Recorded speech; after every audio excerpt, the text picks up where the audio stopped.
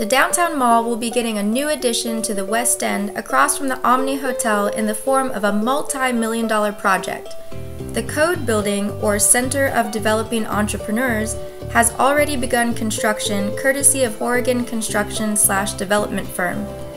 Upon completion, the building will be home to Class A offices, retail spaces, an auditorium that can seat up to 225 people, and lunch windows with shared kitchen spaces. More exciting features will include walkability under the building that connects to Water Street, a rooftop workspace that includes loads of greenery, and the addition of 74 parking spaces below ground. Their hope is that the Code Building will house everyone from new tech startups to established businesses. As the tech industry continues to rise, so does the Code Building construction. The Code Building aims to achieve LEED Gold Plus certification.